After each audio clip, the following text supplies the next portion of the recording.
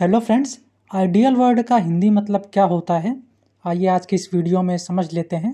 Ideal word का Hindi meaning होता है आदर्श, आदर्शपूर्ण या फिर आदर्श स्वरूप, यानी कि satisfying one's conception of what is perfect most suitable आइए इसे एक एग्ज़ाम्पल से और अच्छे समझ लेते हैं।